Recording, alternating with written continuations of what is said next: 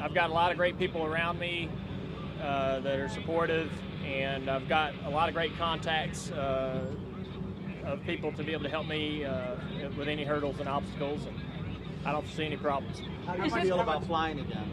I don't have any problem with flying again. Well, it was a very d- tough experience to go through, but um, I try not to really get into that. You know, think about that too much, and uh, things happen for a reason, and uh, you just try to learn from it and move on. And uh, you know, I'm just, you know, I, I, you know, have I love my daughter so much and enjoy being around her, and uh, look forward to watching her grow up and experiencing a lot of things with her going on, going forward, and and um, you know that just um, made you realize that much more. And uh, so I'm just uh, thankful and and you know ready to live our lives. I'm here to talk about it. You know, I'm here with all you guys and uh, around a lot of people that I know, and I feel comfortable here. This is a, you know, there's nothing better for me than being at a racetrack, and uh, you know, everybody's okay, and uh, we we just you know